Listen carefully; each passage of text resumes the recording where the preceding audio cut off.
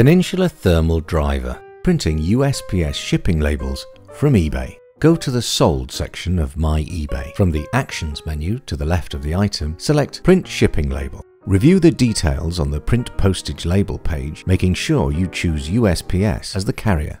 At the top of the page, select Printer and Label Receipt Preferences. On the Label Printing Preferences box that appears, select any laser or inkjet printer from the pop-up. Make sure that the Shipping Label with Receipt and Instructions checkbox is checked. Click Save to save and close the Printer and Label Receipt Preferences dialog. Once all of the above steps are completed, click the Purchase Postage button. On the page that loads, click the Print Label button. If the print dialog does not open, press Command P or select Print from the File menu. Chrome users must select Print Using System Dialog at the bottom of the Chrome print dialog. Once the print dialog is open, select your printer. Select your country's default paper size. Please note, this is not the size you will be printing the label at.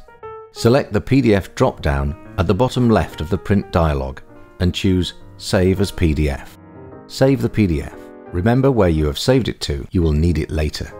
Making sure your thermal printer is plugged in, turned on and connected to your computer, open the thermal printer utility.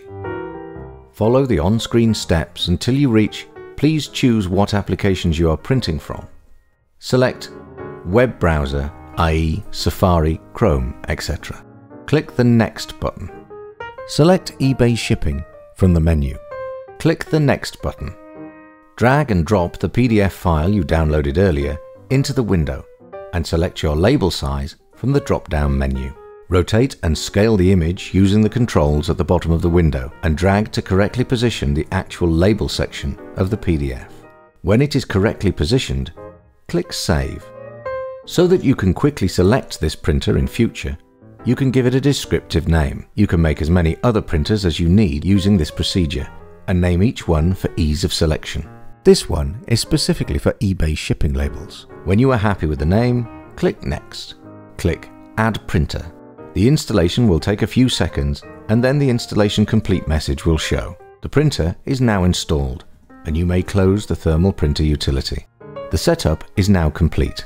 Simply return to the eBay website and print your labels selecting the special eBay printer we just installed. Peninsula. Software that works quick, easy, professional.